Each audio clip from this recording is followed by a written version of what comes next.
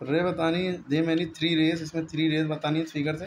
तो रे की अगर बच्चा कहे कि बी ई या बी एफ़ है तो इसमें बी ई तो हो नहीं सकती क्योंकि दोनों एंड पॉइंट दिख रहे हैं।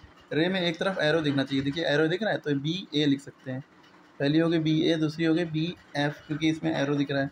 एक तरफ़ एरो होना चाहिए, तीसरी क्या होगी रे? बी डी ठीक है एरो दिख रहा है इधर। बी डी यानी सूरज की किरणें रे जो होती हैं, सूरज एंड पॉइंट है, सारे तरफ़ जा रही है ना, रे बनी तो इस तरीके से। लाइन क्या होता है जिसमें दोनों तरफ़ एरो दिखे एक इधर, ये रहा ए डी ठीक है? और लाइन सेगमेंट क्या होता है? दोनों तरफ़ डॉट होना चाहिए। देखिए। ये या बी ई भी कह सकते हैं। बी ई भी है। एक लिखना है। ए माने एक होता है। तो बी ई हो गया। ओके दूसरा लाइन सेगमेंट बी सी हो जाएगा।